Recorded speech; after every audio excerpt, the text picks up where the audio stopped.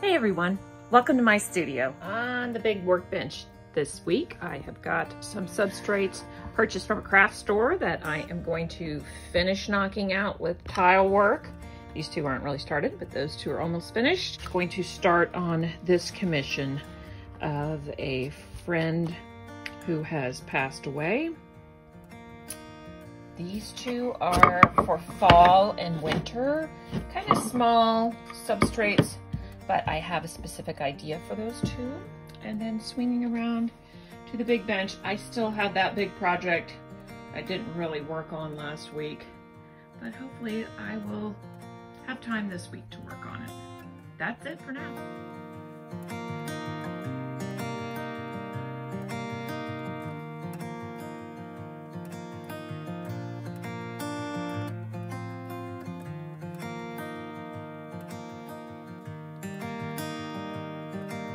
Use a color copy on my substrate, I find sometimes the colors get distorted, so I always have to have a color reference as well.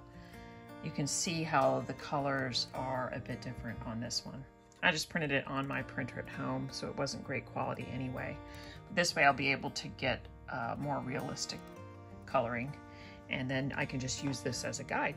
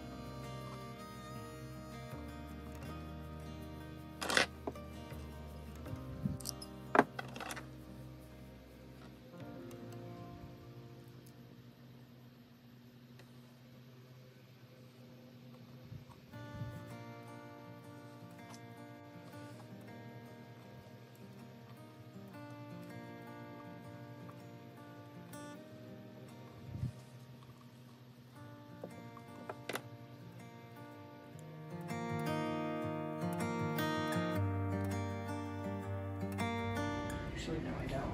I'm at my collector's home and here's an old piece I made called Seymour.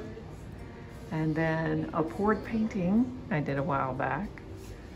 And then this piece called ITP, which stands for In the Perimeter. And then this piece, mosaic I made called Lost. My son came over last night and worked on this. So we finished up the fish, started on the background. This is gonna have a little LED light right there that lights up from behind and the background is gonna get darker and darker as it moves away from that light. I'll show you what it looks like in the dark. Here's my son's mosaic in the dark with the glowing teeth and eye. And he's got this lure on the end that's an LED light. Isn't that cool?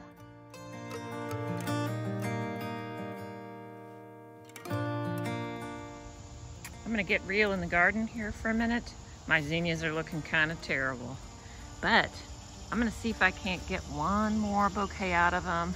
I like the birds to eat the seeds. I see all kinds of goldfinches and birds here every morning. And there's a few good blooms in there. So let me get after it. I picked quite a few good ones and stripped the leaves. Now I can bring them in and make flower arrangement. I'm going to do the arrangement in this picture that I got from Ikea. And because the mouth is so wide, I put scotch tape over there as a sort of frog to hold the stems up.